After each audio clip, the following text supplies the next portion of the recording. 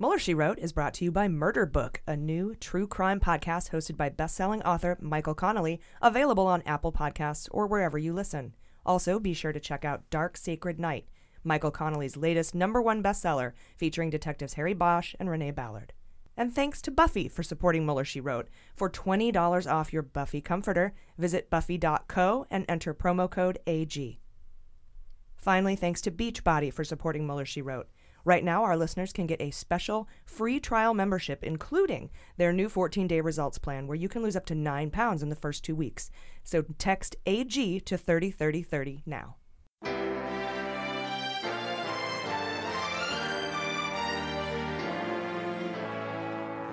So, to be clear, Mr. Trump has no financial relationships with any Russian oligarchs. That, that's what he said. I, I, that's what I said. That's obviously what the, our position is. I'm not aware of uh, any of those activities. I uh, have been called a surrogate at a time or two in that campaign, and I didn't have not have communications with the Russians. What do I have to get involved with Putin for? I have nothing to do with Putin. I've never spoken to him. I don't know anything about him other than he will respect me.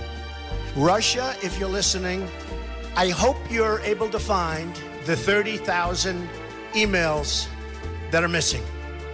So, it is political. You're a communist. No, Mr. Green. Communism is just a red herring. Like all members of the oldest profession, I'm a capitalist. Hello, and welcome to Mueller, She Wrote. I'm your host, AG. With me, as always, is Jaleesa Johnson. Hello. And Jordan Coburn. Hello. Well, this has been an interesting week. Uh, it's day 29 of the Trump shutdown, and we are helping out one of our patrons. We'll call her AM. Head to GoFundMe and search for MSW patron to donate so we can help her pay her rent and her bills. Uh, we've already raised about 2,500 bucks, so thanks to all of you for your kindness. Uh, today is the National Women's March, and of course, Trump is pissy because the news isn't about him; it's about ladies. so he went on television today um, to talk about some bullshit deal of some shit we already have. He's trying to basically like he he goes into your house and pulls a picture off your wall and says, "I'll give you this if you give me money." uh, also, our MSW live tour is taking shape. We will be at the Miracle Theater in Washington D.C. March 29th, and we'll be at the Bell House in Brooklyn on March 30th. Doors at 6 p.m., shows at 7. Stay tuned for patron VIP cocktail meet and greet details. We still don't have those details worked out, but we're trying to get that done. We'll be posting the ticket link on our website on Monday. So remember, that's not going to be available on there till Monday. Uh, and sometimes we release this episode early Sunday nights if we get done editing it in time. So head uh, to MuellerSheWrote.com for all of our tour details. As we get them, we'll update the website, probably just right on the front page. Also, our fucked clip as recorded by Voices of Our City Choir, a nonprofit group, is available for purchase as a ringtone, with part of the proceeds going to Voices of Our City Choir. That's a choir for homeless people in San Diego. Um, such a great cause. Jaleesa, can you play that ringtone for us? Oh, yeah.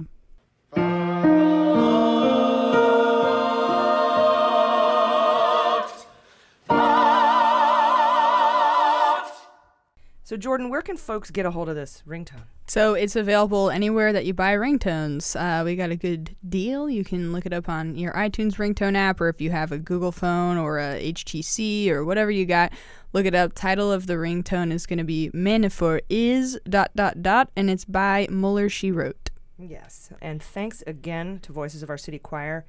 Um, and also San Diego Gay Men's Chorus for making our beans come true with this. All proceeds go to them. So we love you. And thanks for putting together that little bit of goodwill for us. We have a jam packed show, guys. Couple of corrections from last week. I mixed up Woodward and Bernstein uh, in the midweek episode. Sorry, fellas. Nobody caught it, not even me. Uh, I was wondering if they were like co-writers or something, and maybe Woodward just is a credit whore. yeah, that that would have made sense. no, Woodward wrote the book. Bernstein is is the other guy, Carl. They worked together. They they did a lot together back in the old Watergate times, and have ever since. Uh, so I mixed up my old white guys again. I do it a lot. um, sorry, y'all guys look all the same. Uh, I wanted um, to let you know if you want to access this midweek update that we've been putting out for the last two weeks, just head to patreon.com slash Mueller She Wrote and sign up to be a Patreon. You also get ad-free episodes, um, the entire archive of bonus episodes and weekly newsletters with my show notes, all kinds of free gifts. Totes worth it, starting at three bucks a month. You also get our full length unedited interviews. And today, we'll be interviewing staff writer for The Atlantic and MSC, MSNBC contributor Natasha Bertrand.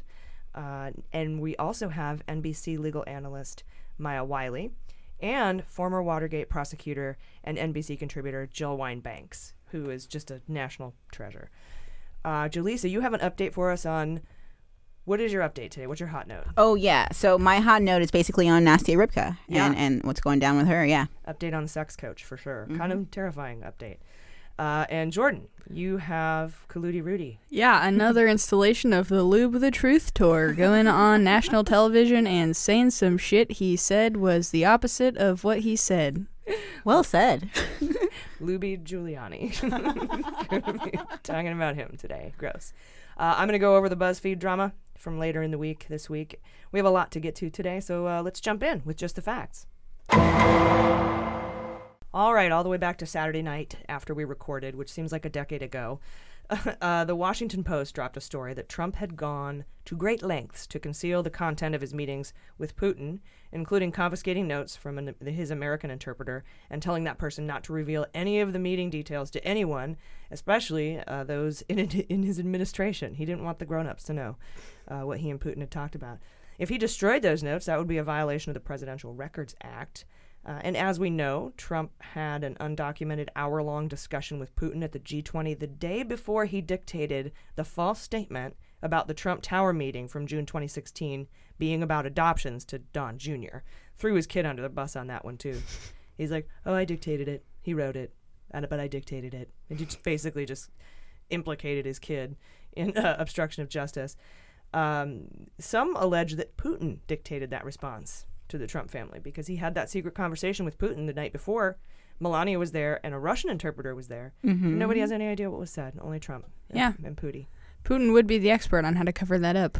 He, he would definitely have, I could see how it would be his idea. To tell them it's about adoptions. I like the Pootie name. It makes me think of Pootie Tang. Pootie Tang? yeah. Putin Tang? Yeah. Okay, that's his name now. It's an orange drink that makes you murder people. It makes you turn orange because Trump is drinking that apparently. Drink it in the Space Force. Yeah. it's the Tang. Russian Kool Aid. Oh, yeah. oh, yeah. Oh, the Kremlin Kool Aid. There you go. An alliteration. Tang, Putin Tang, the Kremlin Kool Aid. All right, you guys, Sunday night, Trump called into the Judge Jeanine Pirro show on Fox and failed to answer whether or not he was working for Russia, and he tampered with a witness on live television by threatening Michael Cohen's father in law. in response, Cummings, Nadler, and Schiff, those are the three new chairs, Democratic chairs of some of the House Oversight, Intel, and Judiciary committees, uh, not some of them, those three committees. Um, they wrote a letter to Justice calling him out for it, um, saying it's a blatant felony perpetrated in plain sight. Um, but the week just got worse for Trump from that day on, so we'll go over that. Also, Sunday night, Carl Bernstein, not Bob Woodward, told CNN he has a source that's seen the draft of the Mueller report and that it says Trump helped Putin destabilize the United States. Bernstein's sources are pretty solid, so I take that as fact. Um, and there were reports that Trump had been fuming in the White House, saying he's been getting crushed. I'm crushed on the shutdown. I'm getting crushed. We're getting crushed. Uh, and Colludy Rudy even said that the Mueller report will be devastating. Um, it's still being reported that Mueller will release his findings in late February. I don't know how the hell he's. I had to write like one script this weekend. I couldn't even get it out in time, so I don't know how he's going to do this. Um, I guess he's got you know 800 angry Democrats working for him. Or something. True, that's right. Yeah. Angry Democrat. The Mueller Terry. Trans. nice. Angry transcribers. Um, let's see. Also, Sunday, the Daily Beast reported that the Kremlin blessed Russians' NRA operations, according to the United States, a, a United States intelligence report. Jordan, what were some of the details of that story? You went over that in the midweek update. Yeah, pretty much. We learned that back in 2015, Alexander Torshin, as far back as 2015, um, he had in fact been briefing the Kremlin on his attempts to infiltrate the NRA. Previously, they tried to really separate themselves from that. People, even if you'll remember, tried calling uh, Butina a free agent sort of person that wasn't acting on behalf of the Kremlin. Well, we know she was acting on behalf of Torshin, and Torshin was probably acting on behalf of the Kremlin. And that's pretty Yeah. much the most consequential part of that is there was way more connections to the Kremlin than they're like to, you know, they like to say. Yeah, and I think that I think the point of that is that they the Kremlin wasn't necessarily hiring them and deploying them, but they were saying, "Here's what we're doing," and the Kremlin's like, "Very good." Right. And they also said, hey, Kremlin, you probably want to get in on this because in the event that a Republican wins the 2016 election, you're really going to want the influence and the connection with their base, which the NRA encapsulates entirely. Mm-hmm. Yeah, and they were good with that too. Um, thank you. So, let's see. Monday, uh, we learned that Steve King, known racist, uh, was condemned in a 424 to one vote in the House for his comments when he asked why the terms white supremacy, white nationalism, and Western civilization had become offensive. When did those become offensive? like a really long time ago, buddy. Um, 424 to 1. And the one guy was like, it doesn't go far enough. I Yeah. want to punch this guy in the face. Can we put something in here where I can punch him in the face too? Um, Steve, Steve King also lost all his committee seats for those comments, and rightfully so. He should know better that it's, uh, you know, it's okay to say you're a nationalist, like Trump did, but not a white nationalist. The white is silent. as I said in the midweek episode. Uh, we also learned Monday that Mueller had asked for a face-to-face follow-up after he received Trump after he received Trump's written interview answers, and the administration said no. Uh, for five weeks, Mueller tried to negotiate um, an interview until eventually Rudy said Trump will not be answering any more questions, face to face or otherwise, in the Mueller probe. Over my dead body. I might be dead, he said, but over my dead body. So now, I wonder if he's sick. I don't know. It's weird. So now we wait to see if Mueller subpoenas him, basically. If he's going to write a report and not bother, or if he's going to shove a subpoena up his butt. Subpoena butt stuff. Um, also, Monday, we learned that not only did Bill Barr send a memo to Justice, the Department of Justice, about the president being above the law, pretty much, but he also sent a memo to the White House as well. Uh, of course, I put some super space beans on a theory that Barr and Mueller are super good friends, and Barr wrote these memos to get the uh, you know attorney general job so he could protect the Mueller investigation. But that's probably totally not true at all. Uh, I call it justice porn. So, the William Barr confirmation hearings took place this week, and joining us to discuss the hearings is former Watergate prosecutor and NBC and MSNBC contributor Jill Wine Banks. Jill, welcome to Mueller, She Wrote. Thank you very much. I'm very happy to be with you. I'm very excited to talk to you. Uh, I've been a long time watching your uh, commentary for a long time, and uh, we're very excited to have you. And it seemed to me, uh, just off the top, as I was watching the, the hearings, the confirmation hearings this week, that Barr seemed to keep dancing around a commitment to release a full throated Mueller report. Uh, what was your top line takeaway from, from the confirmation hearings this week? I completely agree with you. Um, he had very, um, very good reasons, he said, for why he was taking the position he did. But there are very valid reasons why he should make a full report and make everything available, whatever that is. First of all, to the extent that he claimed that the rules and regulations barred him from doing it, he can change the rules and regulations if he's the attorney general because the attorney general sets those rules. So that's a very, very weak excuse for not releasing it. There will certainly be parts of it that I would agree um, are grand jury testimony that can't be released for one reason or another, but the conclusions can be. And I, I think there's a lot that can be learned, but I also think, and I want to point out that I think that hearings in the House are absolutely essential. And that's a way to get good public education. And that's really critical is people need to know the facts and the truth so that they can evaluate for themselves how they feel about what the president has done, what the president knows, when he knew it. Those are important questions. Yeah, absolutely, and that's why it was so critical that the Dems um, got won back the House, and uh, you know we were very, uh, you know, breathed a huge sigh of relief, at least uh, uh, on our side, when that when we did when we took the House back because of those hearings. And um, you brought up the grand jury, and that that wants that leads me to the next question here, because in recent months, uh, the Jaworski report of the grand jury findings in Watergate was unsealed or released to the public, which set kind of a legal precedent, or at least revealed what the legal precedent was, that, you know, normally super secret grand jury findings uh, don't make their way anywhere outside of the grand jury room. But in this report, they did make their way to the House Judiciary Committee. Now, do you know if the AG at the time during Watergate had to approve that report going forward to the judiciary, or if the judge just decided to send it directly to the House? This was done on the authority of the grand jury, on their inherent powers. Now, obviously, our team advised the grand jury of what they had the power to do and helped them to state the pieces of evidence that would make a compelling case. It did not include any uh, conclusions of guilt. It simply pointed the way to a variety of activities that the House should investigate as part of their ongoing impeachment inquiry. And remember, we had already had a Senate oversight hearing, which had partly educated the public and made them ready to understand and believe what was in this report. And also, the impeachment group had already started looking at the facts. So we had a ready audience for what we were doing. And I am sorry. Judge Sirica um, agreed with our proposal that it go to the House for their consideration as part of their impeachment uh, hearings. And the courts upheld it. And so they did get the information and were free to go ahead and call witnesses and make certain things public.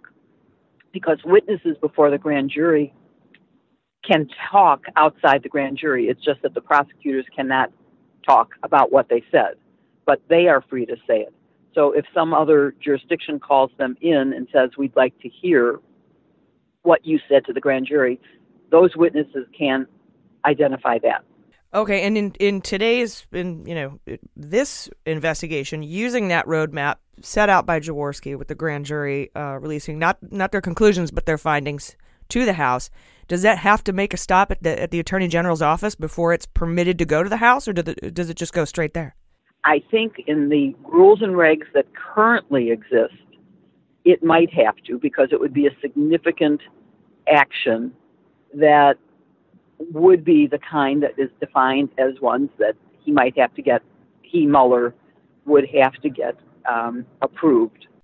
Okay, and that that was kind of my big worry. Uh, not worry, but you know, one one of the concerns that everyone just should be aware that this will probably still have to make a stop in the AG's office before it's before it's, it's handed over. It's possible. I mean, I think there are ways that you could argue, um, and I haven't really researched this, but I'm sure that Mueller has because um, at least one member of the Watergate team, um, not our trial team, but in the Watergate office, um, is working for Mueller, and I think that he would certainly be aware of. I mean, obviously, the country is now aware of our roadmap, and I think that remember I said it's based on the inherent authority of the grand jury, who goes to the judge and says there is a reason to violate grand jury secrecy and to pass this on because of the public interest in the information. And in this particular case, where there's an ongoing impeachment hearing, we have evidence that they should be aware of. And so I think there is a way that Mueller could say, I can't go to the judge, but you, the grand jury, if you feel that there is something that you want the Congress to do, I can tell you that you have the power to go to him. And that could happen without going through the AG. Okay, that makes sense. That's good to know. Um, thanks for clarifying I'm not, that I'm not, us. I'm not positive on that. I mean, I haven't researched it to see if there is a, a legal impediment, but it's certainly something I would try. Yeah, definitely. Agreed. Um, finally, last thing I wanted to ask you about. We all know Michael Cohen is going to be testifying publicly to Congress February 7th, and a lot of folks have been referring to him as the John Dean of stupid Watergate. And I don't know how I feel about that. I mean, technically, Cohen is a lawyer, technically, uh, and he will be publicly testifying to Congress about the president. But I think that's where the similarities end for me. To borrow a phrase, I know John Dean and Cohen is no John Dean. And I was wondering, I was wondering, given your expertise on Watergate, uh, Watergate One, uh, as a prosecutor, do you think Cohen is really the modern day John Dean?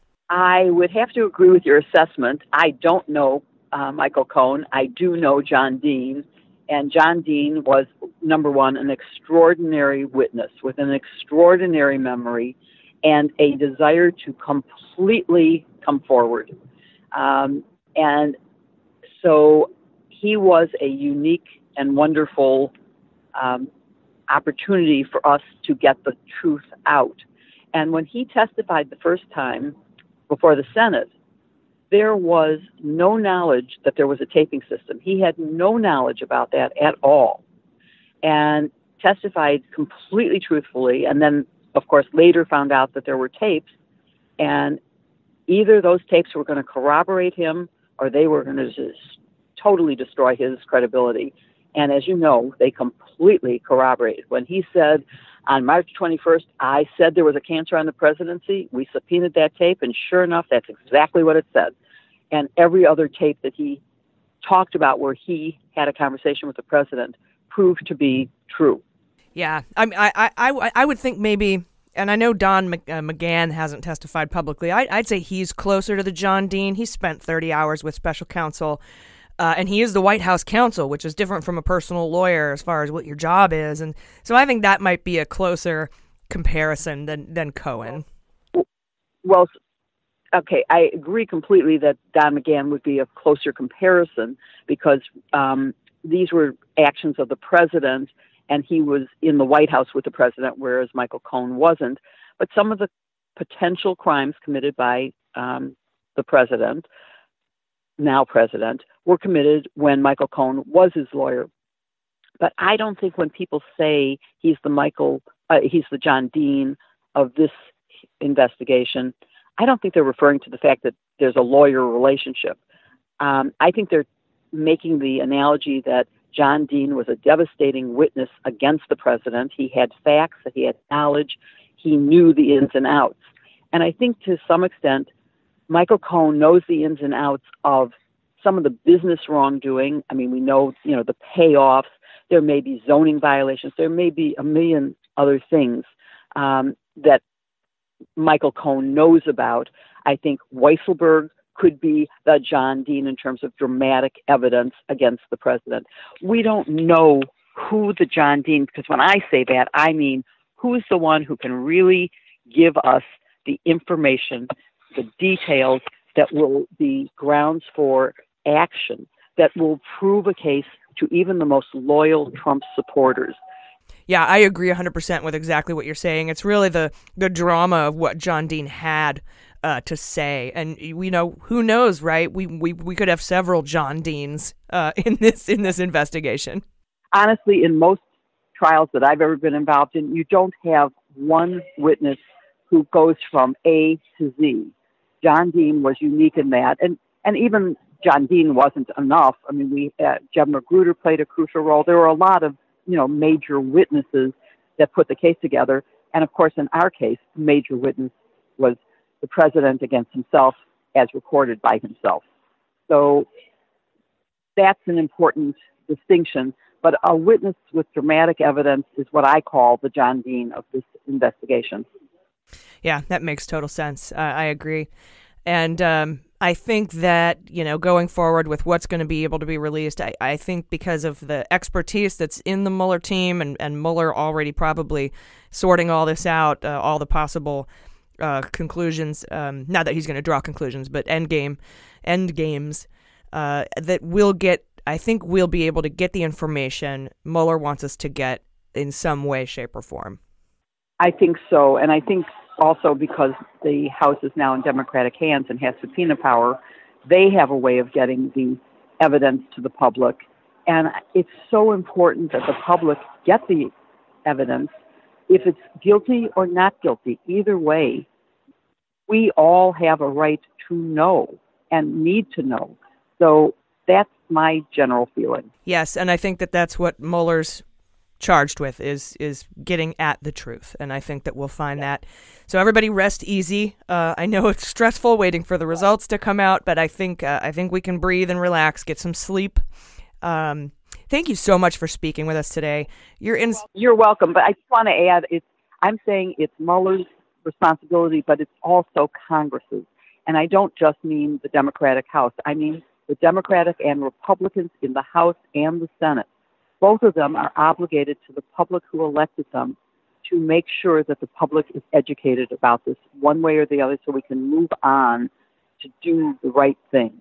Yeah, absolutely. He's not he's not a white knight, Mueller. He's going to give his Yes. findings. He's going to present his evidence. That's his job. He's a prosecutor. He's an investigator, and it's going to be up to Congress, the people, Department of Justice, uh, what we do with that information. We all have a part to play. So I appreciate you coming on, speaking with us today. Your insights are invaluable. You are a national treasure. Uh, former Watergate Thank you prosecutor. so much. no, no problem. Former Watergate prosecutor, MSNB, MSNBC contributor, Jill Wine-Banks. Jill, thanks so much for being on Mueller She Wrote today. Thank you, AG. I enjoyed it. All right, cool. Be safe. Thanks. Bye. Bye. Bye. All right, guys, we'll be right back. Hey, Mueller junkies. Thanks to Murder Book, the new true crime podcast hosted by best-selling author Michael Connelly, for supporting Mueller She Wrote. Returning to his roots as a journalist, best-selling author Michael Connelly now presents the true crime podcast Murder Book. Working with the very detectives who inform his novels and his hit TV show Bosch, the podcast explores real homicide cases not covered by the mainstream media. Murder Book Season 1 is called The Telltale Bullet, and it dives into this 30 year old Hollywood carjacking gone wrong that tests the limits of the American criminal justice system. Kind of like a current hmm. crime testing the limits of the American justice system. Good point. Also from Michael Connelly, Dark Sacred Night, his latest number one bestseller featuring detectives Harry Bosch and Renee Ballard. You can find Dark Sacred Night wherever books are sold. So, the thing that I really love about this guy's podcast is the way that he presents these crimes. It's different. It's like it's different from how you normally get your true crime. And I'm, Right. I'm a true crime junkie, uh, as we all know. But I just his the way he ha- tells a story is just really gripping, and I really appreciate his like the details and the experience and the experts that he that have like give him his information. Oh yeah, definitely. I like how obscure it is. I feel like that's really interesting. Looking for something that's like standing out from the rest of mainstream media type of stories, things you can tell someone about that they definitely haven't heard about and sound cool. Yeah, yeah, that's it. You have brand new true crime to share with people. Yeah, and also I like the element that you mentioned before of tying it into these dynamics that are still playing out in very real ways in our political situation right now, and that they're stories that exemplify, you know, dynamics and humanity that are showing up time and time again. yeah, the justice system aspect is super. I'm so glad he's he's like subsumed that into this podcast. So you guys, be sure to check out Michael Connelly's new Murder Book podcast on Apple Podcasts or wherever you get your podcasts, or head to murderbookpodcast.com. That's murderbookpodcast.com. You'll be glad you did. All right, guys, welcome back. We left off Monday. We're still on Monday uh, with another Daily Beast story about Mueller's interest in an event attended by Nunes, Flynn, and a group of foreign officials at Trump's D.C. hotel. Jordan covered this midweek. I believe you referred to it as collusion and croissants. Yes, yes, yeah, I, yeah, you're right. yep, exactly that. It was the name of the episode of our Patreon midweek episode. Collusion and croissant. Collusion and croissant. Yes. Oh. Um, so Mueller's been looking into this meeting because it contained a bunch of players that have kind of proven to be sketchy fucks, really, uh, to put it to put it lightly.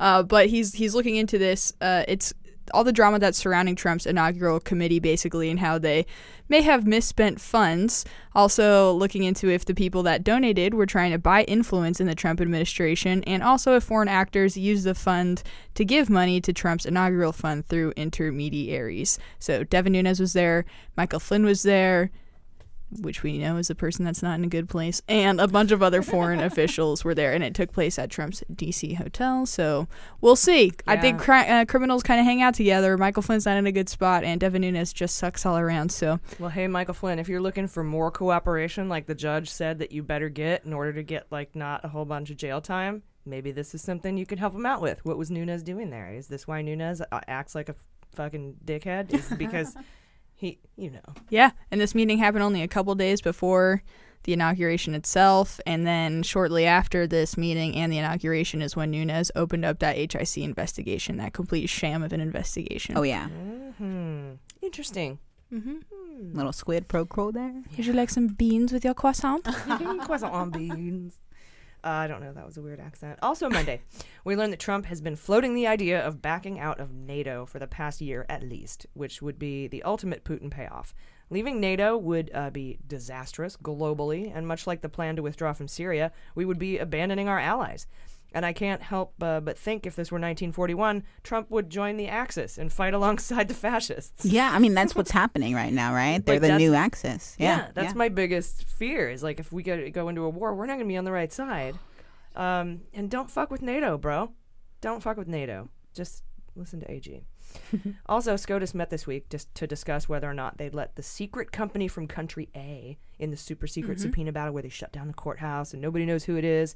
Um, so they they were discussing whether or not they were going to let that company or from country A have their appeal on the merits argued under seal in secret. Um, there are no reports out yet about any decision they reached, but if they deny the request, the company would have to file a public merits appeal with SCOTUS if they wanted to continue their appeal, and we would all have to find out who they were.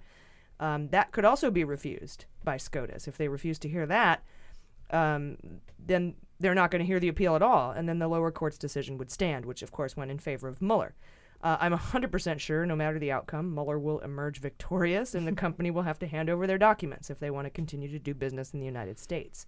Uh, apparently, this company, whoever it is, does substantial business in the United States, so it's in their best interest uh, to comply with the subpoena. As you know, I think the company from country A is the Qatar Investment Authority also known as the QIA, because they have U.S. offices that do significant business. And the Mueller prosecutor working on the case worked on the Flynn piece. And Flynn met with Cohen and an official from the Qatar Investment Authority in Trump Tower. And she's fluent in Arabic, the Mueller um, prosecutor who was working on the Flynn case. I could be totally wrong, but put some cautious beans on it, I guess, if you're a patron.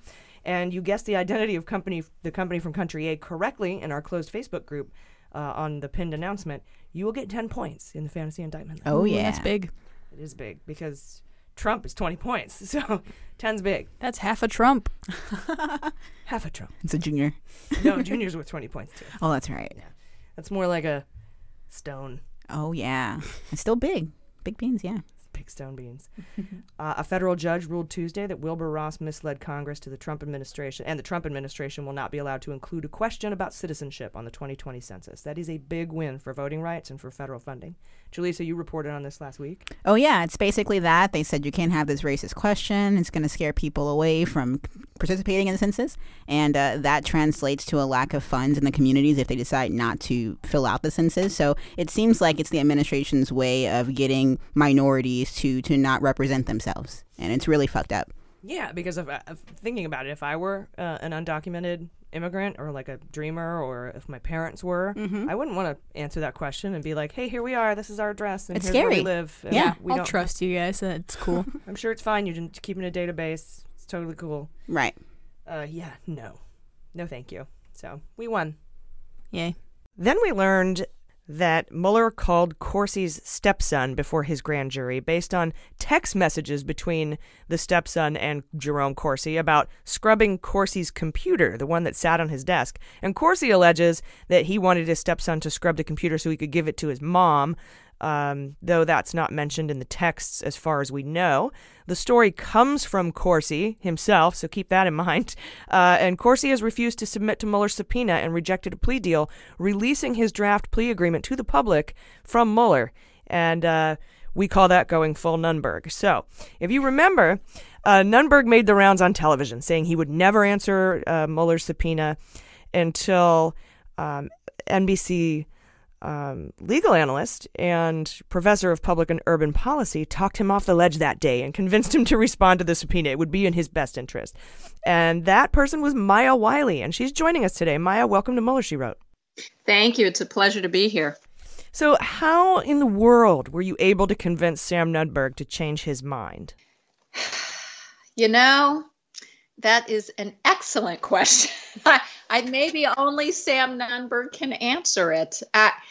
You know, in the moment of the discussion, I mean, first of all, there was no way of knowing what that discussion was going to be like. I certainly came on ready to simply provide the independent analysis along with uh, Barbara um, about how uh, a lawyers see this, why you know Mueller would subpoena Sam Nunberg. You know, it was it was just supposed to be straight legal commentary and sort of the independent, neutral look. Uh, it just I, I was so astounded by the things he was saying that it just took a turn and I just started talking to him like I would talk to anybody because it, I, I you know he he mentioned his father and talked about his father not agreeing and being worried for him and I was like of course your father's worried for you because your father loves you and why are you doing this to your dad I mean that was literally the mom in me was going don't do this to your daddy just comply with the subpoena and it, and and that was kind of the way it all happened. I mean, it was completely unplanned, as was probably obvious. And at the time, you know, I had no idea of the impact. I really just wanted Sam to see how his reasoning was going to hurt him. That's all I wanted. I just wanted him to see like that statement he made about it's going to take me 80 hours to go through all these emails. And I was like, right, 80 hours versus jail time, which will not be 80 hours. Right, because I think that you had brought up, I think that you had brought up that, that this had happened, or either Barb did, that this had happened to someone in Watergate who refused um, uh, the subpoena and ended up sitting in jail, I think for 18 months or something. Yeah. Yeah, and, and that that was Barbara, and you know she was absolutely right, and it, he just wasn't hearing it. He, he he he was not thinking straight, to be quite blunt. I mean, because you don't. He was being very emotional. He was being very protective of Roger Stone. He, he expressed his fear for Roger Stone, and you could just see that he was not thinking it through. That he was being emotional and you know he just it, it it was just very hard to sit there and not just say dude look listen to yourself yeah and you could kind of see the come to jesus moment when it hit his face uh I, I can't remember exactly what it was, but it, it seemed like you did reach him on a more personal level. Like, why do you got this loyalty to Stone? um you know when your your dad is worried about you man well and I, I think i literally said because he kept saying roger stone did nothing wrong and my point was well if that's true you really don't have any reason to put yourself in jeopardy i mean it, it, if what you're saying is true and you honestly believe that he did nothing wrong first of all, you shouldn't ever cover up for someone who did something wrong, of course. But at the time, I just wanted him to see that if all the things he was saying was true, he had no argument, no reason to put himself in that kind of jeopardy. Now, obviously, I think he's wrong. uh, I think Roger Stone had a lot to worry about. But his point was he did nothing wrong. I'm not going. Uh, I'm protecting my mentor. It's clear they want, you know, Roger. And it was like you're not making sense. If if he did nothing wrong and you don't have any information that would suggest he did, why are you going to risk jail time?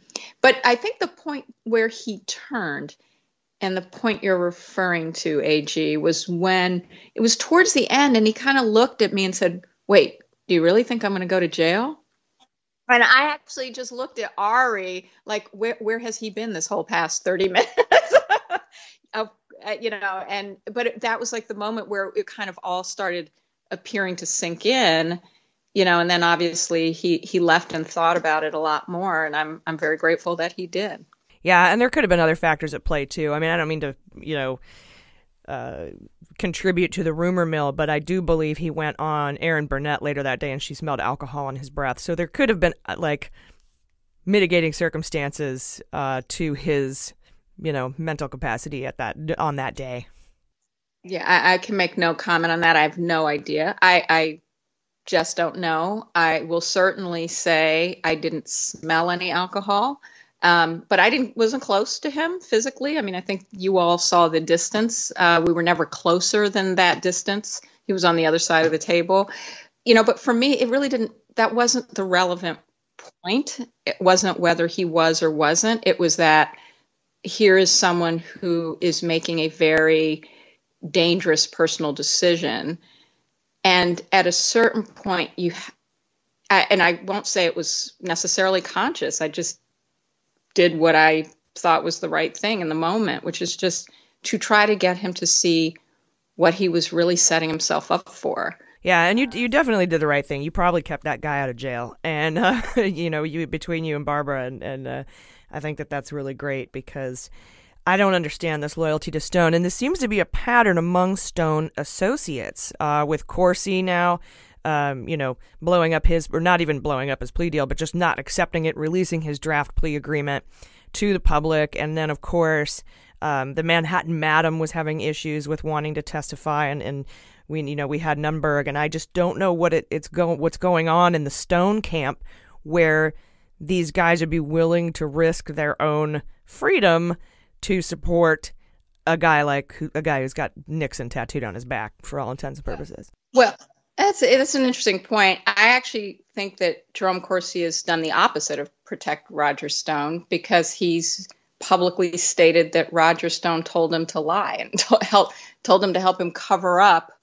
Uh, you know what was very clear from those email exchanges, which was that Roger Stone was trying to get those emails that he believed WikiLeaks had and if he were protecting Roger Stone, he certainly wouldn't have made those states, statements publicly. It made, uh, and of course, Roger Stone started publicly attacking Jerome Corsi. Uh, Roger Stone was not so friendly to Sam Nunberg either, as we know. So, yeah. I wouldn't necessarily, but I, I say that to say that you're you're certainly right that people have expressed loyalty to Roger Stone, but I would not count Jerome Corsi among them. And by the way, no one should be loyal to the point of violating the law or protecting the violation of a law. Yeah, or maybe he just doesn't understand how to protect someone. I, I, I think the person that Jerome Corsi is trying to protect is Donald Trump. Uh, I don't think it's Roger Stone. I think if he were um, not trying to protect Donald Trump, he would be absolutely entering into an agreement to cooperate with Robert Mueller's team. Yeah, perhaps um, perhaps that's the case. And then, you know, of course, we were going to ask you if you could possibly give Jerome, Jerry, a call and see if you could talk him into complying with the Mueller subpoena. But uh, I don't know how well that would work. But what do you make of this uh, stepson? Uh, uh, do you? I feel like Mueller's putting the screws to his family to to to get him to cooperate. Well, I, I, I, will I will I read that a little differently. Uh, I any prosecutor who has a witness, in this case Jerome Corsi, who says, "I didn't do anything wrong. I wasn't trying to destroy evidence, which would be obstruction of justice." and it's a crime in and of itself. I wasn't doing that. This was just a routine family issue where I was dealing with a computer issue and so this was just a normal thing. And my stepson is a witness. The prosecutor absolutely must then go and talk to the witness to determine whether or not the story's true. So it doesn't start as, ooh, I'm going to go get your family member. It starts as, oh, it starts as, okay, you're telling me that you have that there's someone who will corroborate your version of this. And if that person corroborates that version, you still may have done something you shouldn't have done, but we won't have. Uh, but but but there will be evidence that you didn't do it as a crime, that you didn't intend to destroy evidence. Now, it's not very credible, but I'm just saying that that is the right thing to do because it's a fact finding mission.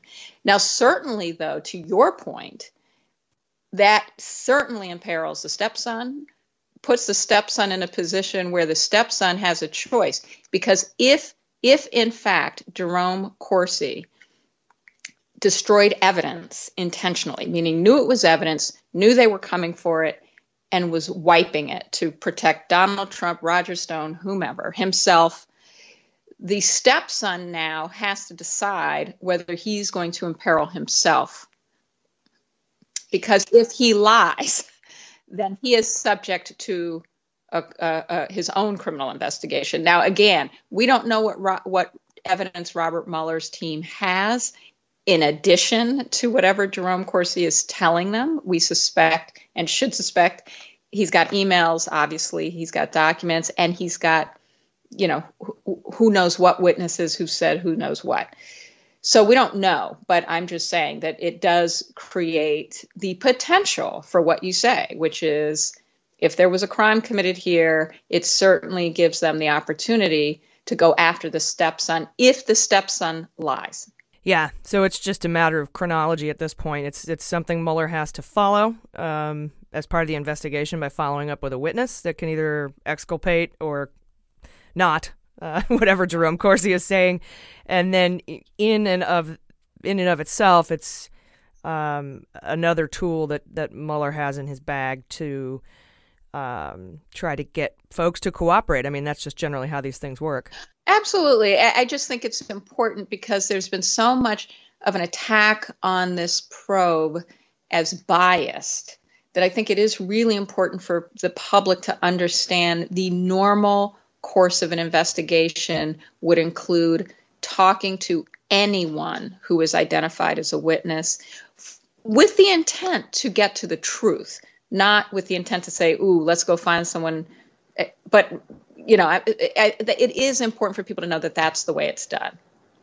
Yeah, absolutely. Um, thank you so much for taking the time today, everybody. Uh, Professor of Public and Urban Policy and legal analyst for NBC, Maya Wiley. Maya, thanks for being on Mueller, She Wrote. Thanks so much for having me. All right, guys, we now have an update. Um, we've waited for a long time to get an update on sex coach Nastya Rybka, and Jaleesa will have that later for us in Hot Notes. Um, then, midweek, the judge in the Manafort case asked the clerk uh, on the court to unseal the redacted version of the evidence Mueller had to file under seal supporting his breach of plea filing. The breach of plea filing is the thing that said Manafort lied to us five times about these five things. Well, the judge wanted all the evidence, so he handed it all in under seal. And the, the judge said, unseal it. And it included over 800 pages of pretty much totally redacted evidence proving that Manafort had lied about those five things. And in response, Manafort's team filed for an extension uh, to respond to the massive filing, saying, you know, can we maybe get our shit have together? a couple days to read all this shit?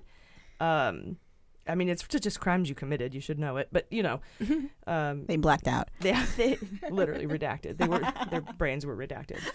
They were redacted drunk. Um, as for a due date, uh, it is now January 23rd. That's when um, they've asked for. Uh, the judge hasn't responded to this motion yet. I'm assuming she'll grant it. I mean, it's 800 fucking pages. And yeah. what's really funny that we learned that I didn't know is Mueller was handing in all this evidence, and he goes, "This is 800 pages. I got way more if you want it." wow, overachiever. what a little fucking nerd. Judge's pet, right? yeah. Yeah. Here's an apple. uh, anyway, yeah, we haven't seen a response to that motion. I'm sure it'll be granted. We'll keep you posted. Um, catch our midweek Wednesday night episode. Also, Mueller asked for an extension of two months in the Gates sentencing, citing that Gates is still cooperating in multiple open and ongoing investigations. We are still waiting for an answer to that motion, and we'll keep you posted. This is further indication that Mueller could be wrapping up by mid March, but it seems too soon. Yeah, I agree.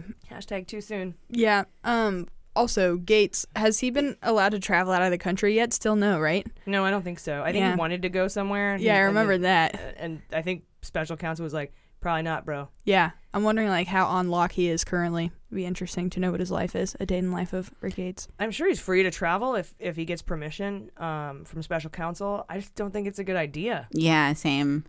Yeah, we'll we'll figure out, you know, why when we get get into the Nastya Rybka story. Exactly, and something about the the mid March deadline for the Mueller thing. It's if that happens, we can have another like Mueller madness thing going on there. If there's a lot of things that drop before then, mm. if there's a lot of things that yeah, drop, sweet yeah, sixteen of your favorite indictments. Yeah.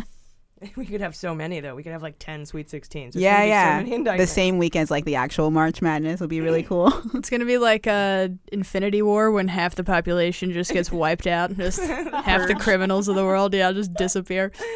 Oh, we're gonna need a whole new like criminal island. Oh yeah, that's right, the White like Island, a, like a, like a penal White Island. That's true. They get banished to the White Island. Yeah, it's like the opposite of that Mormon prophecy or whatever. When like, like when they just turn like black and they're like doomed. Remember that? Yeah, remember that? They had a fun little cartoon that teaches children about that. Isn't that great? Good times. Oh. Yeah. Sorry, if you're a Mormon and you have issues with that, prove us wrong. yeah, I'm sorry. I'll baptizing dead people. Weird city. Oh yeah. I don't. Please don't baptize me. When That's I'm why dead. You guys have to freeze my head. It's a fair request. That's my only last will and testament. I have, being of sound mind, wish to not be baptized in the Mormon Church. Thank you. uh, also, Tuesday we learned that Peter Baker, No, not Peter Baker. Who's Peter Baker? It's James Baker. Look, I fixed it so we don't have to have a correction for next week. Fact checking in real time. Uh, he's one of the Comey Five. He's now under criminal investigation for leaks by the Republicans in the House Oversight Committee. So they're still trying to with their little investigations. Isn't that cute? Mhm. Yeah. Good luck getting a subpoena, assholes. uh, I don't think this is going to go anywhere. As you know, if you're a longtime listener to Mueller, she wrote, the Comey Five is what we refer to as the five high-level FBI officials that Comey shared his contemporaneous notes about his meetings with Trump with, right? Mhm. And we were all, oh shit, these guys are in trouble. They've got targets on their back. Trump's going to fuck them over. Uh, those were Bowdich, McCabe, Baker, Ghattas, and Rybicki. Or Rybicki. Ribbit. Ribbit. Rybicki. Uh, we added a sixth, Bente, or Buente.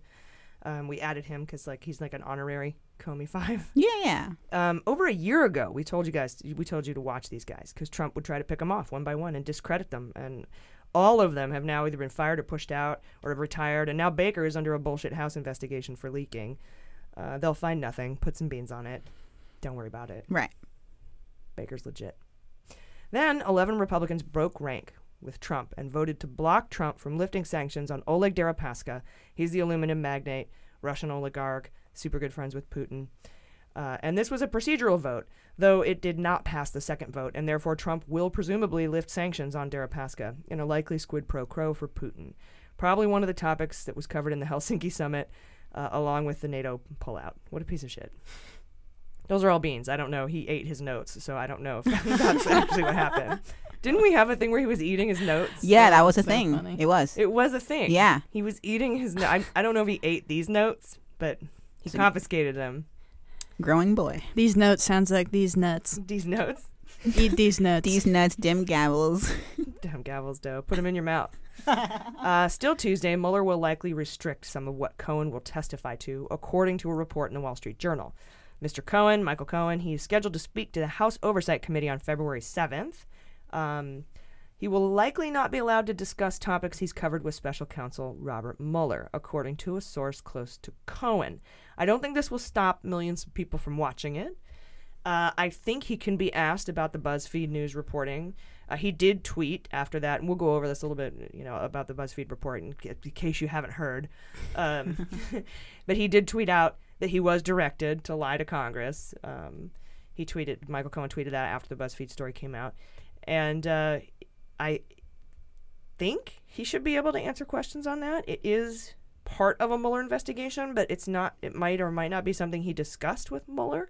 I'm not quite sure, but it's in his sentencing memo. Right. That he was directed to do this, and he's tweeted it out. So I'm not sure Where the line is there. I don't think it would be a restricted topic since he's already it's already out there. Yeah. I wonder. Comey Singh, uh, his questioning television moment of fame that that was still interesting, even though he had to deny answering a lot of the questions. So I imagine it'll be similar to that. Yeah, yeah. Whatever we can get out of Cohen would be better than nothing, right? I just hope he talks like this. And with a plaid suit. I love the plaid suit. Nice. Comey has a real um, subtle plaid jacket, much nicer. Mm. That's That he wears with his brown shoes. Mhm. you Sup, know his Comey? whole outfit. Also Wednesday, Colludy Rudy had a revelatory interview with Cohen. With Cohen. Cuomo. Cuomo. my my autocorrect. I don't use Cuomo as much as I use Cohen. That makes sense, yeah. Cuomo. I'm gonna correct it in my notes. Uh, and Jordan, you're gonna cover this. Yes. In hot notes. This was really good. Yeah, classic Giuliani. totally. Cl- I could have written it. Oh yeah, he really could. Yeah, How like is he not fired yet? That is the question I keep asking. Oh, he's doing his I job. think he's doing his job. I think I'm with yeah, you. Yeah, that's a fair. That's a fair point. But I'm yeah, 100% with There's you on other that. things in that interview that I feel are also just sort of like bad press. Plus, if you think about shit that Trump says in interviews, like where he absolutely and totally implicates himself in suborning perjury and witness tampering, he probably thinks whatever Rudy's doing is awesome. Exactly. Yeah. Why are you guys mad? It's awesome. They're kindred spirits for sure. Yeah. All right. Prob- Yeah, go ahead. Oh, sorry. I was just gonna say they're probably already investing in like technologies that they can smuggle into jail to break out of or something. Oh yeah, they got a guy. Yeah, they're just a long game couple. You Oh, know, yeah. Oh, they yeah. know. They know what's coming. yeah, but they're using like Windows 95 to do it.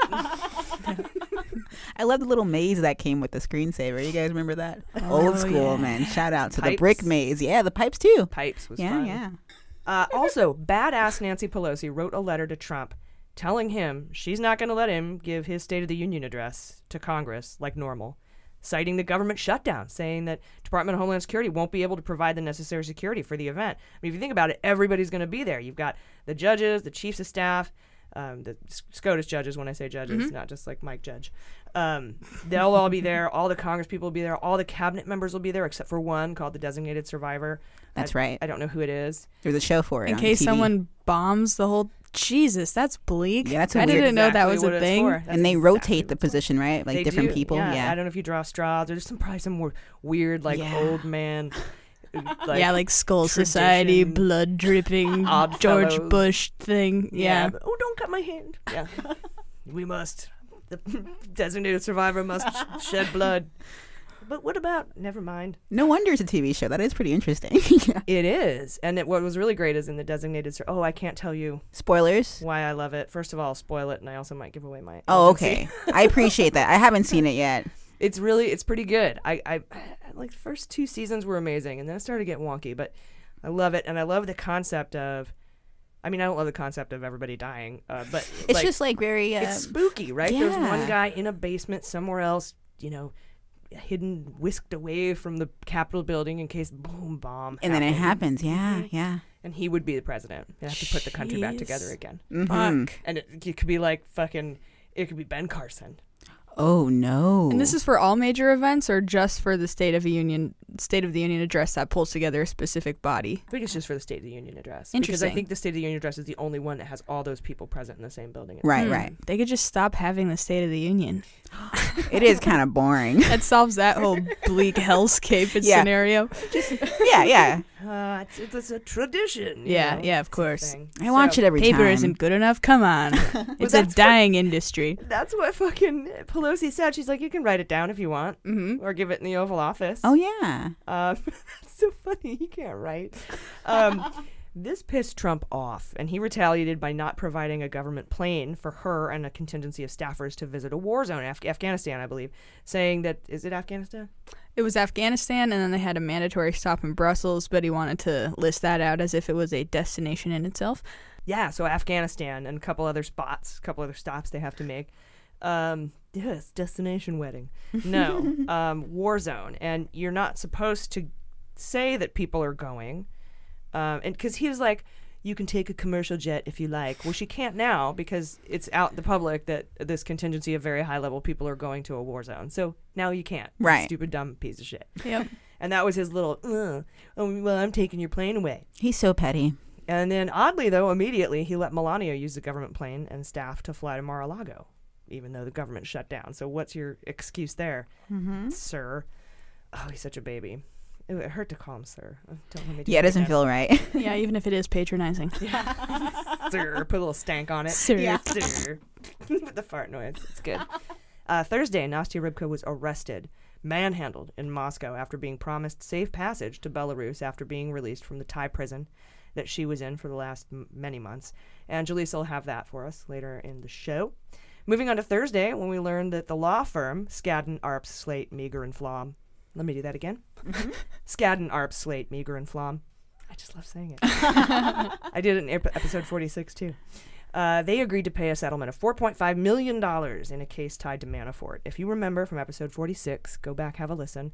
We reported that Greg Craig, he's a Democrat and he's a lobbyist, and he could be under criminal investigation for lobbying on behalf of Ukraine without registering under the uh, Registration Act, FARA.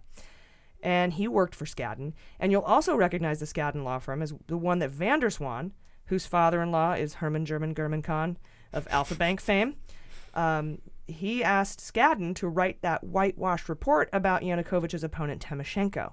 Yanukovych is the guy Manafort worked for, as you know. And as a part of this settlement, Skadden will have to retroactively register as a foreign agent. They're getting really good at retroactively registering as foreign agents. Um, just everyone on that whole side. And Greg Craig, a Democrat. I will support prosecuting Democrats who violate Oh, the law. Definitely. Uh, that's what sets us apart From the GOP, from yeah. the GOP. They're coming around a little bit, to be fair. That's true. Slowly with the nationalist stuff. Yeah, yeah. So so they have to pay 4.5 million dollars in restitution, which is nothing for a firm that makes 2.5 billion dollars a year. Um, we still don't know if they're going to file criminal charges against Greg Craig uh, for his work at the firm. We'll find out. I'll let you know. I'll cheers to anybody going down for breaking the law. Fuck that guy. Mm-hmm. Great name though. Greg Craig. Greg Craig gets green gators. Good grappa. It's a it's, it's a Yeah. good tongue twister. Like my first book or something. Yeah. I like it because it's two first names. That's always fun. Greg Craig? Yeah. You say it so fast. Greg Craig. Greg Craig. Uh, then a really weird story came out Thursday. I, I know, really weird stories. Uh, Cohen paid a guy to rig Drudge polls to make Trump seem more popular than he was in the lead up to the election, or in the election, the lead up to the election. The weird part is that he paid this guy $13,000 in cash along with a boxing glove signed by some MMA guy, and he handed it all over in a blue Walmart bag. this is the level of class we're dealing with. He's probably wearing his plaid jacket. He's probably having a cigar out on the stoop with the fellas.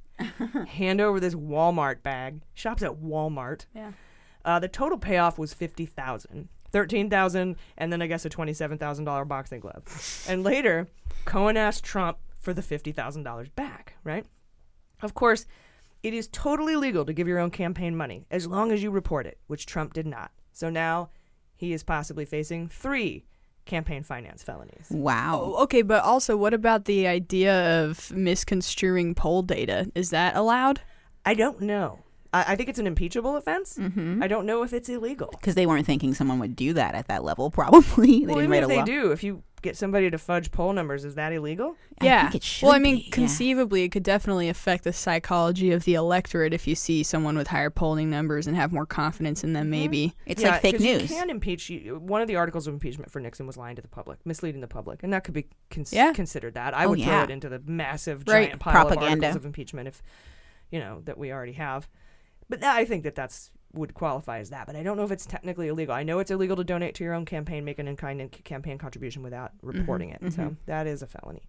Then, of course, Thursday night we got that BuzzFeed report with a headline that Trump directed Cohen to lie to Congress about the Trump Tower Moscow timeline, and the Mueller rebu- rebuke, rebuke, the Mueller rebuke that came out right after that, well, the day after, um, of that report, saying it's not accurate. And I'll go over all that in hot notes in detail. So, guys, those are the facts this week. big week. Oh, yeah. Crazy week. We'll be right back. Hey, Mueller junkies. Mueller She Wrote is brought to you by Buffy. Who is Buffy? Buffy makes comforters that are better for you and the earth using skin friendly eucalyptus fabric and fluffy fill made from 100% recycled water bottles. I love this. I love this idea. You know how big we are into sustainability on this show. And this comforter has over 11,000 reviews.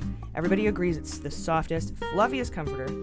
And it's made from all plant based fabric and it's super breathable. It keeps you cool when it's, you know, when it's hot out and it keeps you warm when it's cold. Uh, the outside shell is 100% eucalyptus fiber. It's unique, it's softer than cotton, it soothes your skin, it's really wonderful. In addition to being softer than cotton, eucalyptus fiber is much less wasteful. It, it's made from a renewable plant, 10 times less water to cultivate this, and it's produced in a closed loop system that reuses 99% of its solvents. This comforter is also hypoallergenic.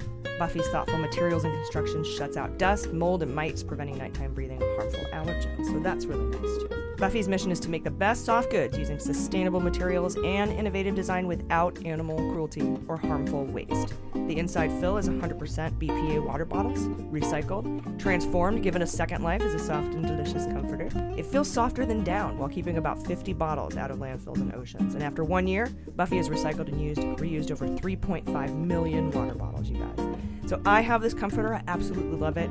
I am a hot sleeper and I love it because it keeps me cool at night. I don't sweat. It's so soft and it really is. I when I was like it's soothing to your skin, it actually is. It's totally. They're reinventing this whole game with this 100% fill made with plastic water bottles. I absolutely love it. For $20 off your Buffy comforter, visit buffy.co and enter promo code AG. That's right, our listeners are going to get $20 off this incredible comforter. That's buffy.co and use promo code AG for $20 off today. You'll be glad you did.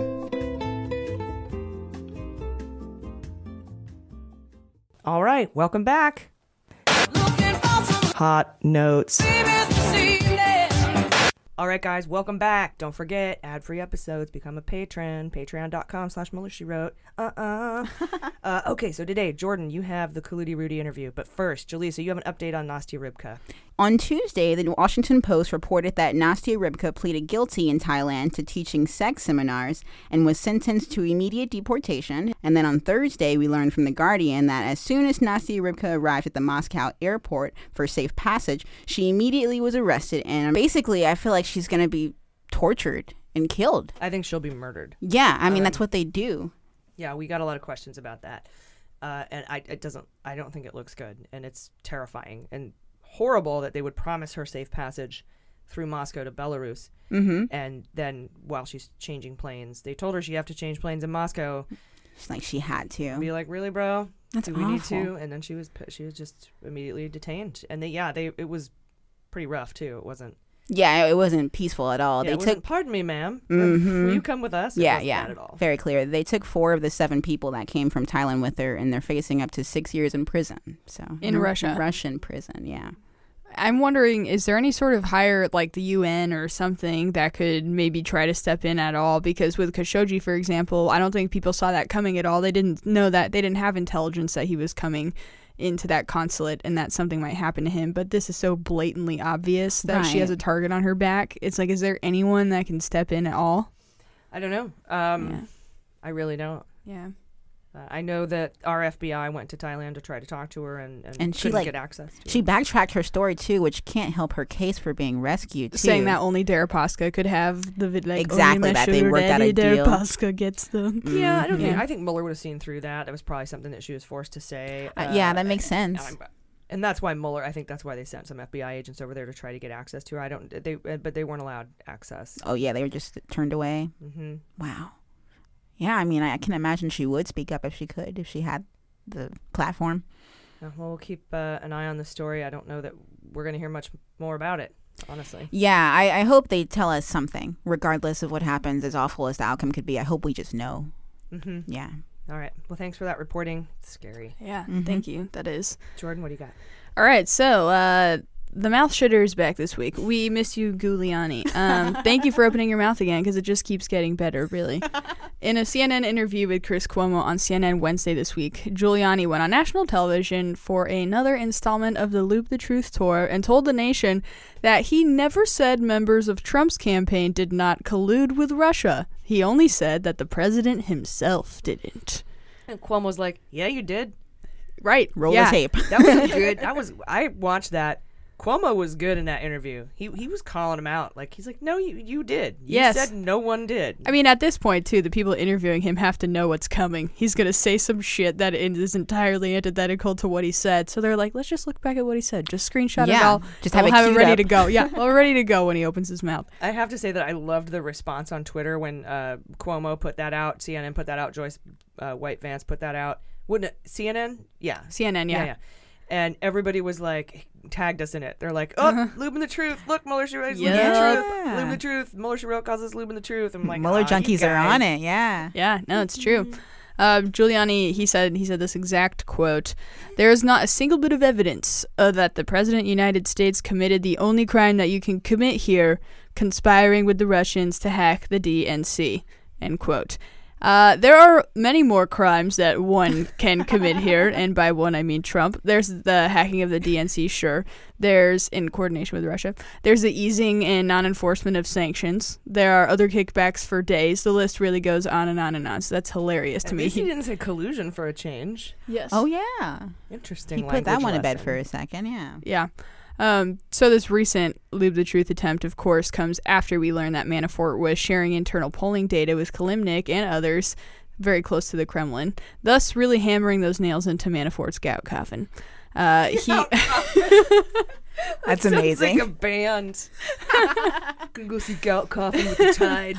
yeah. Pretty awesome. Yeah, well, because th- this news comes out, right? And then, of course, Trump's response is, well, I didn't know he was doing that. This is the first time I'm learning of them sharing that sort of information.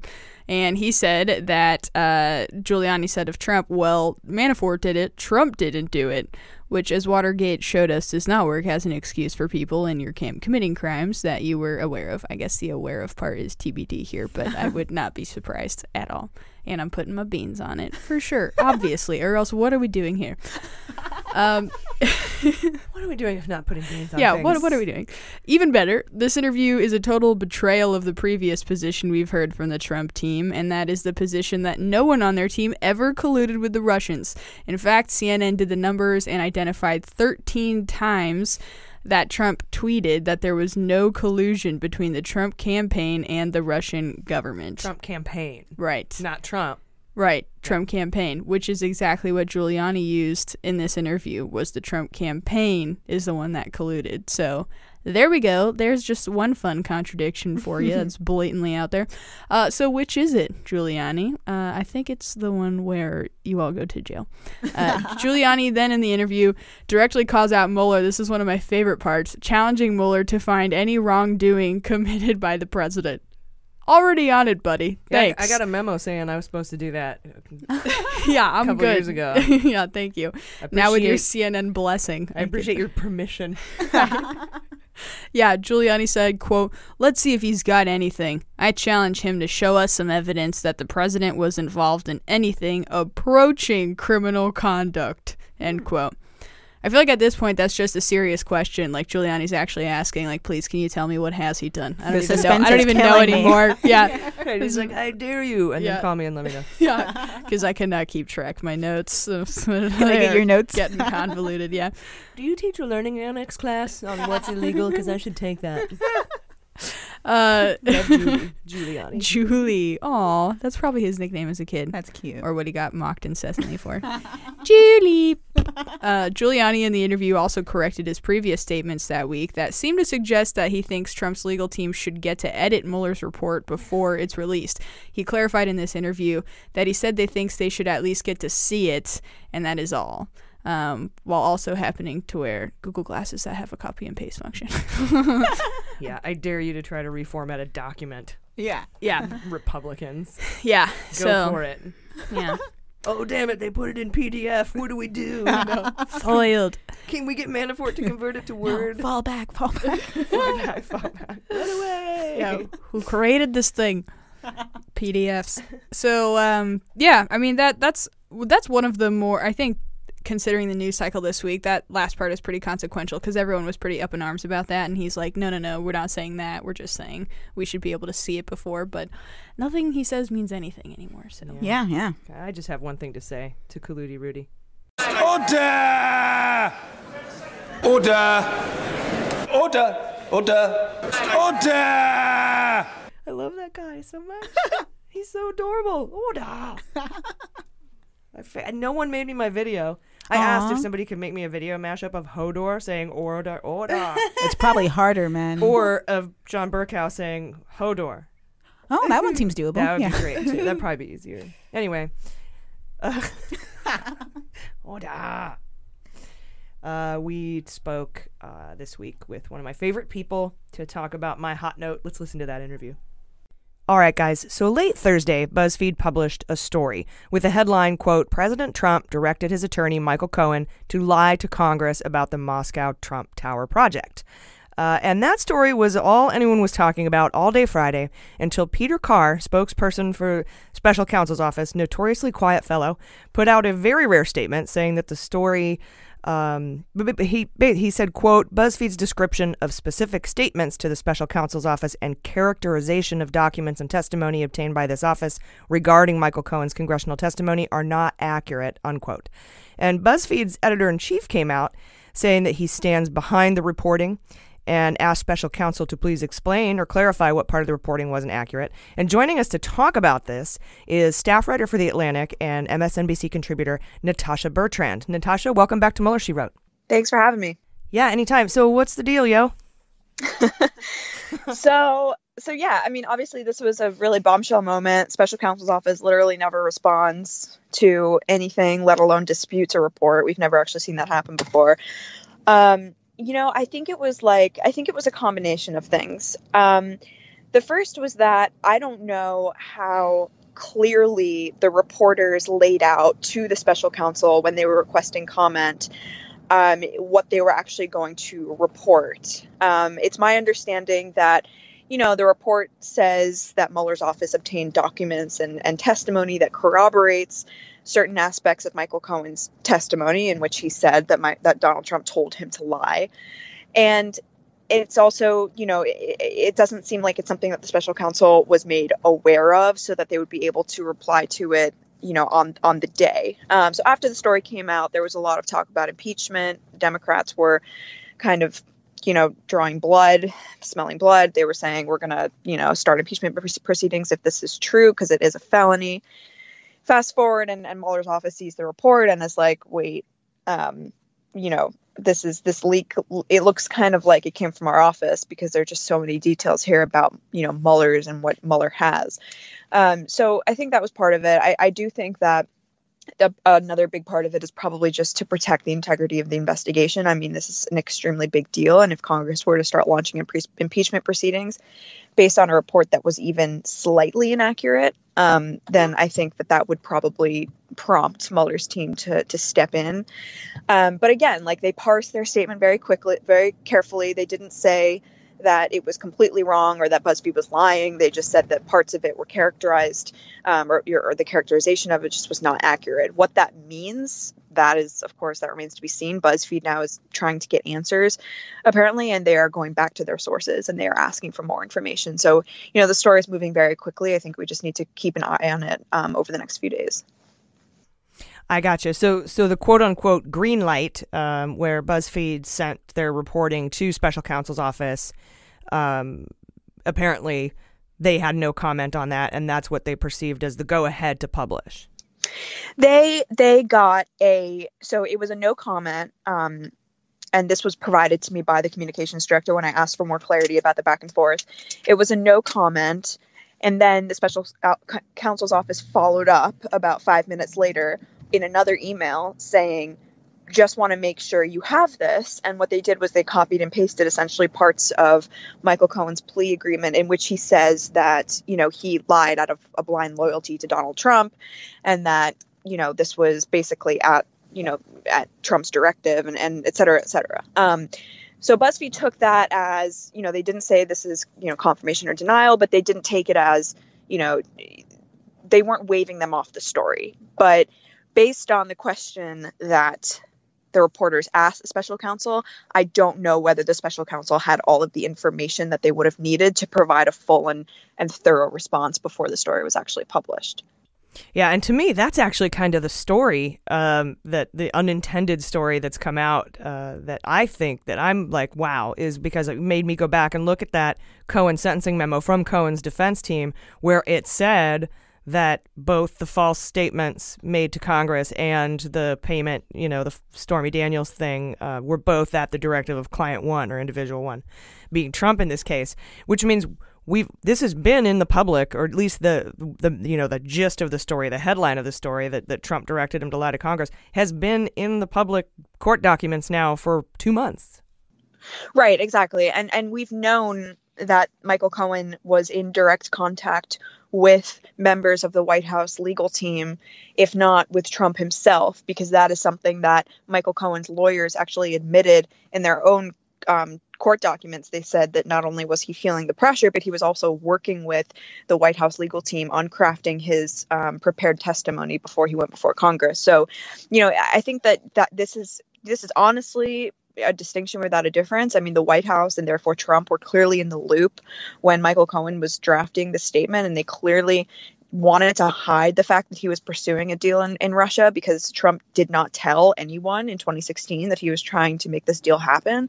Um, so I think that is the big picture here that we need to stay focused on is that Trump lied it's not even just that he, you know, yes, if if he told Michael Cohen to lie, that is obviously a felony, and that's a very serious crime that Democrats, for example, if they wanted to, could latch onto if they had hard proof and say this is an impeachable offense. But he also lied to the American people when he said that he had no business dealings in Russia, and when he concealed the fact that he was pursuing a multi-million dollar real estate deal there in 2016. Yeah, and we know from history that you can uh, be impeached uh, for lying to the public. It was I think I think one of the articles of impeachment for Nixon. Right, exactly. Um, it, you know, obstruction of justice, witness tampering. These are all things that could that could realistically be used by Democrats um, to begin impeachment proceedings. Now, I, I, wrote about this yesterday. It seems like now they're not going to wait for Mueller's final report, if need be, um, in order to start holding the president accountable. Um, but of course, you know, they also don't want to get out too far ahead of Mueller because that would just be really anticlimactic and the public would be left wondering, well, you know, what does the special counsel report say? Yeah, exactly. I, I think it would personally be smart to wait until you have uh, that, at least the bulk of the Mueller report uh, before you move forward with that. So you just have everything on the table at once. And uh, I know. I know Rosenberg appeared on MSNBC the uh, Friday night and was talking about, you know, why did you know Mueller even charge Cohen with this, and and they were positing that it was creating a predicate to charge others with the same offense. So it's not in and of itself an unimportant thing. Right, exactly. I, and I think that when you put all of the lies together, I'm sorry if it just got a little bit louder. I'm, I'm on the street right now. Um, but if you put all of these lies together, they start to create a picture of, you know, conspiracy and concealment that you just really can't ignore. I mean, why was there such a concerted effort to work with the Russians in 2016? Why was there such a concerted effort by, you know, Michael Cohen, Donald Trump, Donald Trump Jr., um, you know, Michael Flynn to hide their conversations with the Russians? I mean, it's all it's it all adds to the emerging picture of some kind of conspiracy. Yeah, and the the DNC laid it out pretty great in their recent 111 page filing of you know I guess they're suing uh, all those guys. right, right. I actually did not get a chance to read that, so I'm not in the best position to comment on it. But but yeah, I mean the DNC is essentially alleging that they um, stole the election and that they cheated to win. Yeah, it's pretty good. There's nothing really new that pops out in it. Um, for us. You know, uh, I'll probably go over it in a mini-sode, but anyway, uh, thank you so much for taking the time to talk to us about this today. Any last thoughts on on how we should mentally move forward from this? Thank you for having me. Um, yeah, I mean, I think we should just keep in mind the, the big picture here, which is that the president was clearly compromised by Russia at a moment when Russia was attacking the election and trying to elect him. So yeah, and and he's eating his notes from his meetings. Right, so. that too, of course. we have to be careful of that. Hopefully, the attorney general actually knows what the Presidential Records Act is, uh, so yeah. so we can get some closure on that. All right. Well, thank you so much, staff writer for the Atlantic, MSNBC contributor, and Natasha Bertrand. Thanks so much for being on Mueller She Wrote. Thank you. So there you have it. That's my hot note. We need to remember, though, that uh, the special counsel's rebuke of the BuzzFeed report is not all encompassing and only takes issue with part of the reporting though we don't know which part. uh, I think, and these are super space beans, but I think Mueller felt the need to comment publicly because of the leak. Um, yeah, lots of folks um, could have been under the impression that the SCO leaked, that's the special counsel's office, or even that Southern District of New York leaked. Um, but I spoke to Mimi Rocah, who said that it, that's likely not it either. She's like, if you think that the Southern District of New York leaked, you don't know these people. So, you know, I don't know who these two law enforcement officials are. I've heard some pretty good sourced stuff that I'm not allowed to tell you, and I will tell you as soon as I can. But for now, haha. um, there's a lot of off the record partial explanations floating around, and I don't want to get into those until the story has time to breathe. You know what I mean? And I think that's the main takeaway here, uh, and why we do a midweek update and not smaller emergency sodes, uh, because we want to give these reports time to marinate so we can rely on incredible journalists like Natasha Bertrand and others who will get to the bottom of things for us. Um, tune in Wednesday for an update on this, and you'll notice uh, in that interview, I also mentioned a 111 page lawsuit filed by the DNC uh, alleging Trump, his cronies, and the Russians conspired to steal the election. 13 counts of conspiracy, RICO, and all that other stuff, mm-hmm. racketeering, everything. It's a really interesting read. Um, we'll try to put it together in a minisode for you in the next week or two. But in the meantime, I recommend picking it up and checking it out. It's a really nice summary of the conspiracy. 111 pages. but it's really nice. It does it in numbers. Like here's point one, point two, point three. Here's the crimes that were committed and by whom. And thank you. We're the DNC. Good night. Mm-hmm. good night. yeah. Good night. All right, guys. We'll be right back. Hey, Mueller Junkies, it's 2019, which means a new year, new you. And for most people, that also means wanting to avoid overcrowded gyms. Do not abandon your New Year's resolution by February because old habits die hard, guys. So, what I want you to do right now is get online and try Beachbody On Demand. Beachbody On Demand, it's easy to use, it's a streaming service, it gives you instant access to a wide variety, huge variety of really effective workouts you can do from the comfort of your own home 24 7, right? So, like, check this out. They've got everything that you've always already heard of, like P90X, Insanity, Insanity Max 30, 21 Day Fix, T25, Focus T25, the Brazil Butt Lift, yeah, PiYo, uh, Hip Hop Abs, three week yoga retreat. They have everything, every every workout from Beachbody, all in one little place, and I absolutely love it. They have the best trainers. They have Shaun T, Chalene Johnson, Tony Horton, Autumn Calabrese, just absolutely it, like everyone all in one spot. It's super fantastic. Hundreds of effective workouts, all fitness levels, seriously, all fitness levels, ranging from bodybuilding to weight training and cardio, high intensity interval training, yoga, even dance workouts. Super fun. Um, in the time it takes you to drive and park at the gym, you'll be done working out. I swear to God. I do the T25. It's my favorite. It's 25 minutes a day. Shaun T, he's badass. I love that guy. Over a million people currently use Beachbody on demand. The thing that I love the most about it is, especially with all the travel that we do with the podcast, I can just take this, pop it in in the hotel room. At, it's on, on demand, so I don't have to bring my little DVD player to do my, you know, my DVD workouts, and I just do it right in the hotel room. 25 minutes, bam, done. I absolutely love it. All right, so check it out. What I want you to do is to start a program with me. I want you to try the T25. That's my personal favorite. Or, you know, if you prefer something more low impact, get on it and then at me at Mueller She Wrote and just show me your progress. I'm really interested in it. And you can get a special free trial membership now, just the Mueller Junkies here. That's uh, including their new 14 day results plan, where you can lose up to nine pounds in the first two weeks. So, what you do is you need to text AG to 303030. That's AG to 303030. You'll get full access to the entire platform for free. All the workouts, the nutrition information, the results plan to get super fast results, totally free. Keep your New Year's resolution going. Work out from the comfort of your own home or your hotel room 24 7, you guys. Again, text AG to 303030. You'll be glad you did.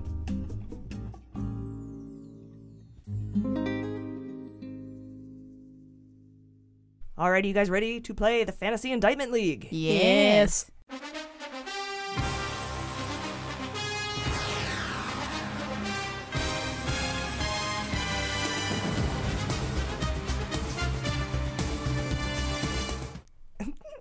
Yes. that was good. All right, this week, uh, Jaleesa, you're going to pick first, and then me, and then Jordan. So, Jaleesa, who was your first pick? Don't you dare say Stone.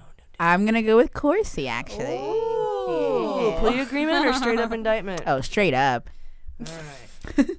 Jaleesa, Corsi. All right, you got Corsi. I got Stone. Sorry, got it. no, it's fair. Um, let's just round out the camp. Assange. nice, nice.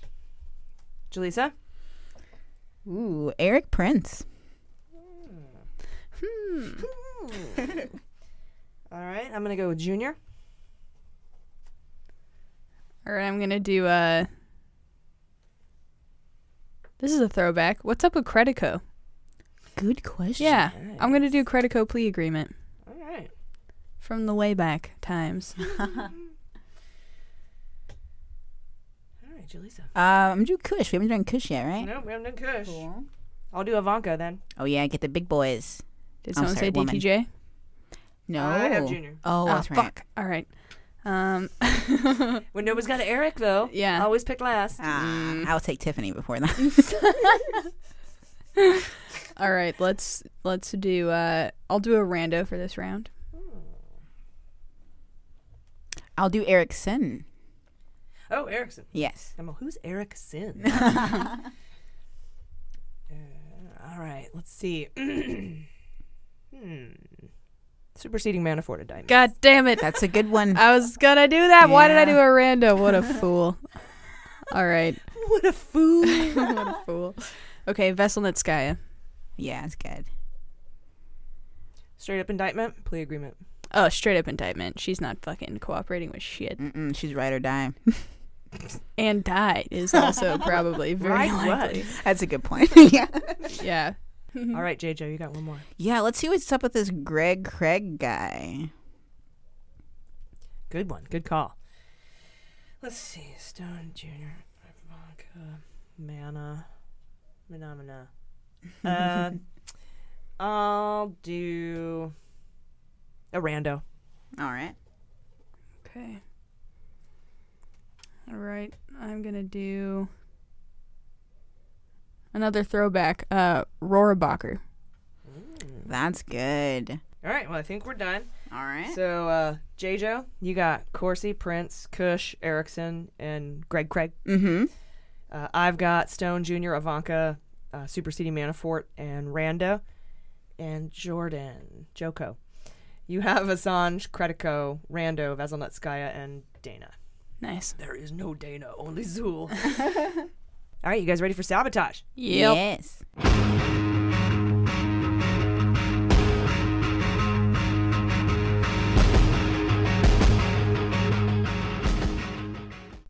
Yup.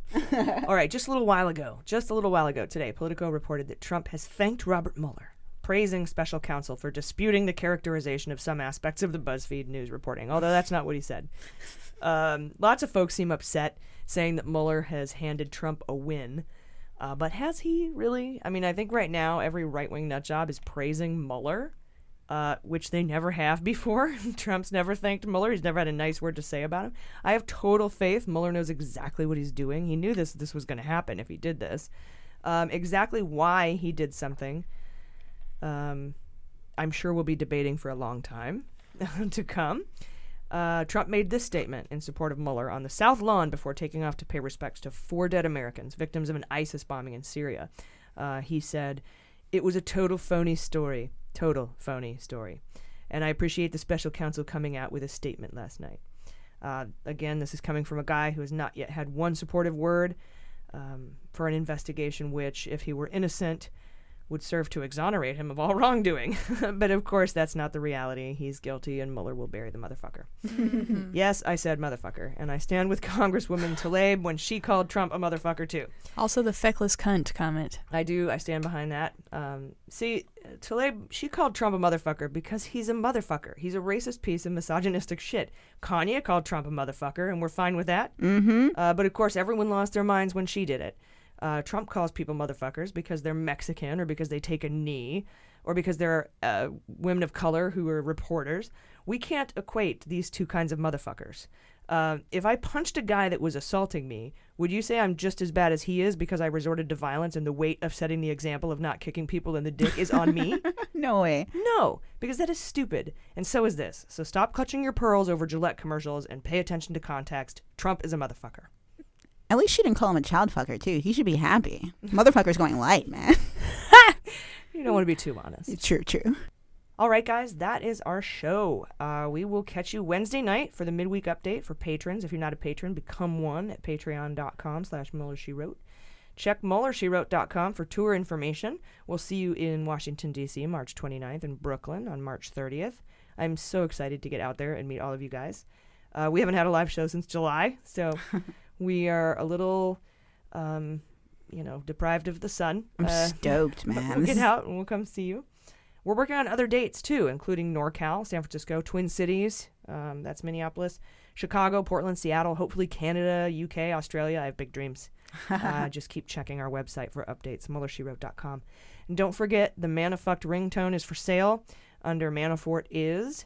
Uh, wherever you get your ringtones, proceeds go to Voices of Our City Choir, a choir compromised of compromised. a choir compromised by Russia. the harsh realities. yeah, the Russians got him, Jordan. a choir comprised of homeless people in San Diego. We want all of the proceeds to go to them. And please help support our patron, uh, AM, impacted by the Trump shutdown. It's her birthday this week. Um, uh, so head to GoFundMe, search for MSW patron, and practice your get your random acts of kindness on. Get them on. Uh, thank you for all the birthday wishes, you guys. And remember, if I call myself old, I'm joking, but I do hope you guys find a way to freeze my head and keep me alive so I can get an historical perspective. Oh, hell yeah. On this investigation, future beans. Uh, you guys have any last thoughts, party thoughts? Happy birthday it, weekend. Oh, yeah. yeah, yeah. It's AG's birthday weekend. That's right. Thanks, guys. Of Happy course. fucking birthday. Hell Thanks, friends. yes. Yeah, totally. We've been enjoying a nice Pinot Noir. You did. You bought me a really nice bottle. What is Yeah. The nicest the cheap liquor store had. Mm. It was. It, it's very good. yes. I appreciate that. Yeah, of course. Happy birthday, our fearless leader. Um, I'm afraid of stuff. I'm afraid of. Some You're afraid of what? Birthdays? uh, Oh. like spiders that come and hang, like descend upon you when you don't, when you can't see them coming. Yeah, they're scary. that happened to me and uh, my best friend. We were at, um, you know, the girl who does our branding and our uh, web design. Uh, she, Joelle? Yeah, she's best friend for like 25 years. We used to go to golf clubs when we were kids, and we're standing there at, at a goth club just gothing, and this spider comes down, and we see it, and we're like, and we start hitting at it and like trying to light it on fire. We're like, and all the goths on the patio are looking at us like. Don't you dare hurt that spider. Yeah. Oh, yeah. Some little goth guy comes up and grabs the spider in his hand and like gives us this stern look and walks away, Like all life is precious. protective of the beautiful gothy spider and releases him into the wild of Point Loma. And I'm like, dude, all right. And, and Joelle's like, we're not good goths. Yeah, yeah. That's okay. I still like Siouxsie and the Banshees, but you're right. I'm just can't deal That's with so the spider. funny. So fearless, mostly. Yes. Mostly. You are the rock though of this podcast and and yeah, you know, you're you're entitled to a couple of fears, but you're pretty badass in this area. Thanks, man. Yeah. Yeah. This is um wouldn't be possible without AG everyone, so send birthday vibes. Yes. Thank you for the birthday vibes. I Yes. appreciate it. And thank you Um, to your mama for bearing you. That's right. I should call her Boring? Bearing. Bearing. Bearing. Yes. Yes. Boring you. Bear arms. yeah. Bear. right to bear arms. Also your dad. He did he did Yeah, you know, just, you know, did you his know. part. yeah, he put a lot of work into that. Yeah. Actually, I got all my uh, comedy and music comes from dad. So Oh, Hell yeah. cool. yay, dado. All right, guys. Uh, I hope you all have a wonderful and positive week. Chins up. Uh, fear not. Mueller's got this. And look for the silver lining, all that other shit. Inspirational poster. Do, do, do, do, do some yoga. Whatever you need to do. Self care. Massively important. Self care again. So take care of yourselves. Take care of each other. I've been AG, I've been Jaleesa Johnson. I've been Jordan Coburn. and this is Mueller She Wrote.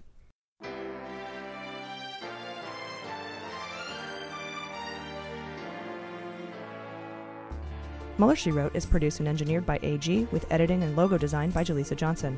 Our marketing consultant and social media manager is Sarah Lee Steiner, and our subscriber and communications director is Jordan Coburn. Fact checking and research by AG, and research assistance by Jaleesa Johnson and Jordan Coburn. Our merchandising managers are Sarah Lee Steiner and Sarah Hirschberger Valencia. Our web design and branding are by Joel Reeder with Moxie Design Studios, and our website is MuellerSheWrote.com.